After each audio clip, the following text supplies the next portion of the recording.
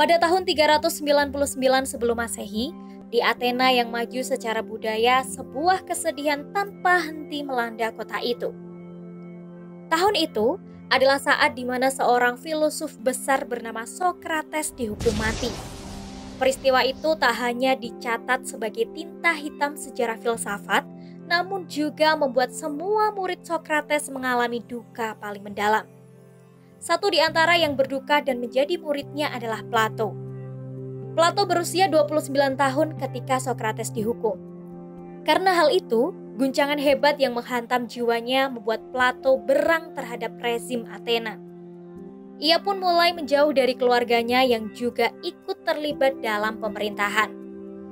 Plato akhirnya memilih tidak menikah dan mengabdikan diri untuk mencari kebenaran.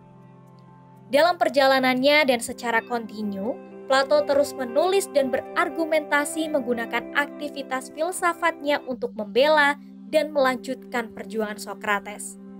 Baginya, keputusan pemerintah menghukum Sokrates karena tuduhan telah membawa agama baru dan merusak moral generasi muda Athena dan hal itu adalah perbuatan zalim serta tidak bertanggung jawab.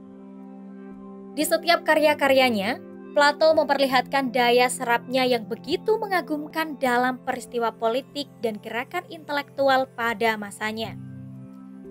Sehingga pembaca yang berpendidikan di hampir setiap zaman begitu terikat dengan pengaruhnya. Plato bukan pemikir pertama di mana kata filosof harus disematkan. Namun, dia sangat sadar tentang bagaimana filsafat harus dipahami dan diterapkan.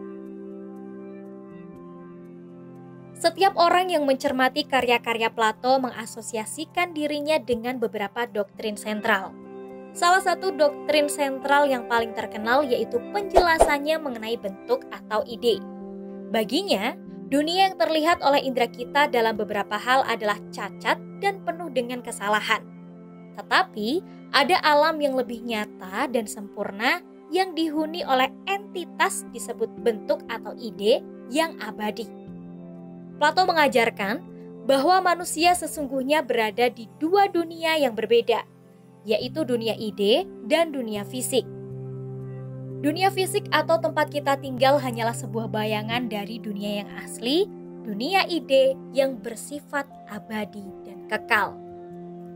Pengertian ide yang dimaksud Plato bukanlah ide seperti gagasan atau pemikiran manusia. Ide ini sama sekali tidak ada di dalam alam pikiran manusia. Justru, ide atau gagasan atau pemikiran manusialah yang berasal dari dunia ide.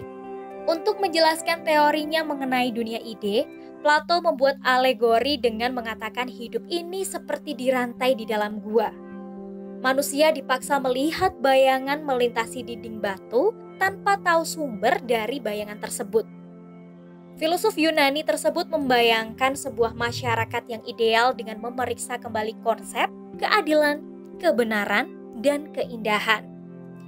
Dalam alegori tersebut, ada sekelompok orang yang dipenjara di dalam gua sejak mereka lahir tanpa memiliki pengetahuan yang di luar. Mereka dirantai menghadap dinding tanpa bisa menoleh. Di belakang mereka terdapat sebuah api unggun redup yang sering kali dilewati oleh penjaga gua dan binatang-binatang. Sehingga seumur hidup mereka hanya mampu melihat bayang-bayang yang terpantul pada tembok di depan mereka. Mereka hanya melihat bayangan dan gema suara di dalam gua sehingga mereka menganggap sebagai kenyataan yang sebenarnya. Suatu waktu, seorang tahanan sengaja dilepaskan dari gua tersebut.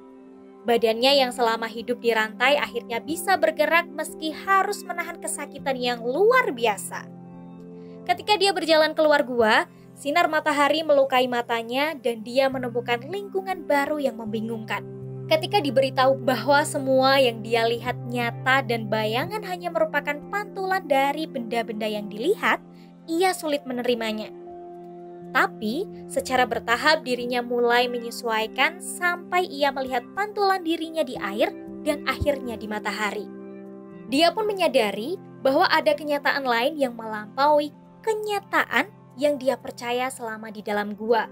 Dalam sekejap pula, pengetahuannya berubah. ia sadar bahwa kenyataan yang selama ini diyakini itu ternyata salah.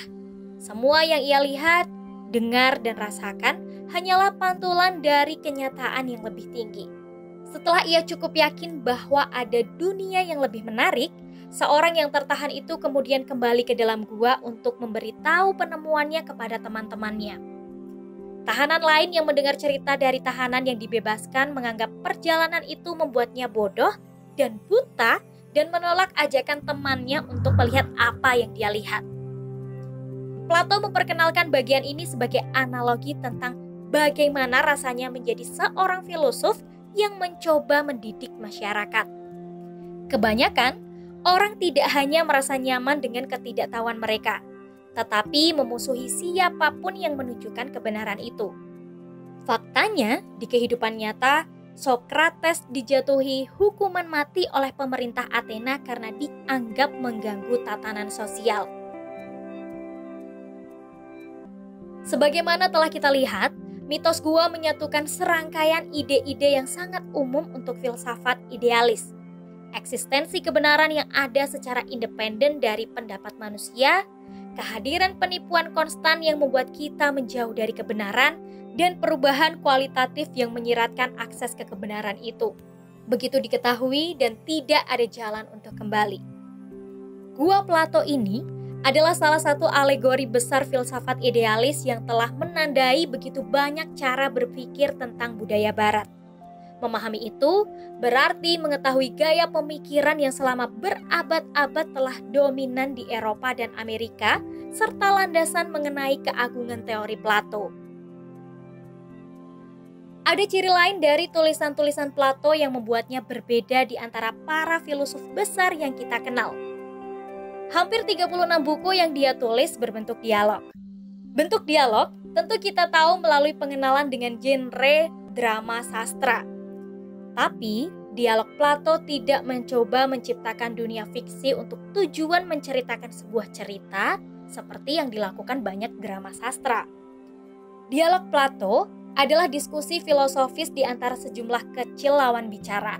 Banyak di antaranya dapat diidentifikasi sebagai tokoh sejarah yang nyata.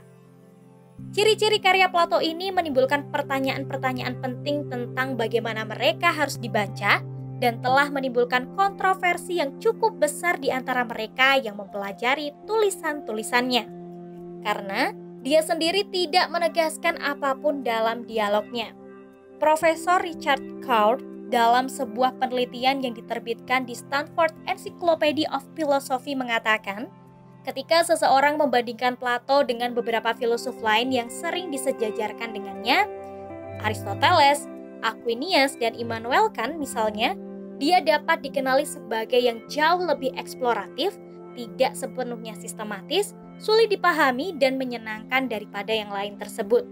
Plato sering dianggap sebagai penulis ideal yang darinya seorang harus menerima pengenalan filsafat.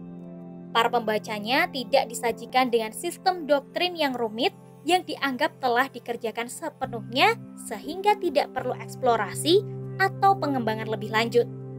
Sebaliknya, yang sering kita terima dari Plato adalah beberapa ide kunci bersama dengan serangkaian saran dan masalah tentang bagaimana ide-ide itu diinterogasi dan disebarkan. Pembaca dialog Platonis tertarik untuk berpikir sendiri tentang masalah yang diangkat. Jika mereka ingin mempelajari apa yang mungkin dikatakan oleh dialog itu sendiri tentang mereka.